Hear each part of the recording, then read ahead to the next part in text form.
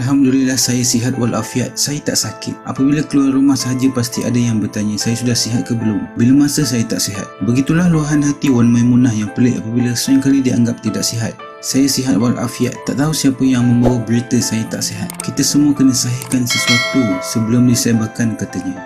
Kata Wan Maimunah bukan satu badan saja yang tampil menghulurkan sumbangan. Mana banyak individu yang prihatin dengan keadaannya. Sampaikan salam sayang saya pada semua yang memberikan sumbangan dan doa tak ternilai. Saya hargai setiap doa yang dititipkan buat saya. Mengulas kejaya lakonan, bintang air mata itu berkata dia masih belum mendapat offer syuting di luar. Tak mengapalah saya duduk di rumah saja. Saya mendapat tahu kawan baik Nolia Gani syuting di Ijuk jadi saya sempat menjenguk mereka. Selain itu Wan Maimunah berkata dia juga merindui kawan baiknya Rosnah Ma'aris dan Khatijah Tan.